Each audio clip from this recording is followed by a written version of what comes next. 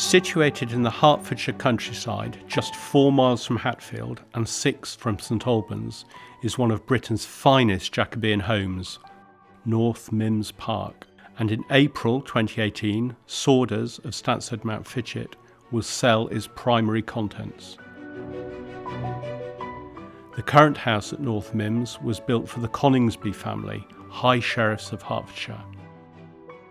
Remodelled and resold many times across four centuries, in its many guises, it has been a sanctuary for fine art and antiques. The exquisite tapestries have long been revered, a reminder of an era when these monumental weavings were the ultimate expression of status, power, taste, and wealth. Most were collected by the Anglo American banker Walter Hayes Burns, who purchased the estate in 1893. 19 of these larger than life textiles form the centrepiece of Sworders' sale, including two part sets that came to North Mymms via the American financier and collector John Pierpont Morgan.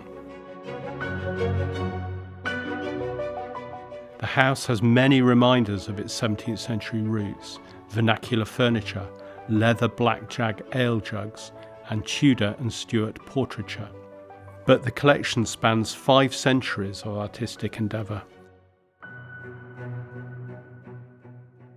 More than 100 paintings in the sale range in period and style from 16th century panel paintings to Victorian marines, while fine examples of English and continental furniture are complemented by Georgian and later table silver. Bringing the collection up to date is the North Mymms collection of post war silver goblets, commissioned from British silversmiths into the present day. In total, around 650 lots will be sold on April the 17th and 18th.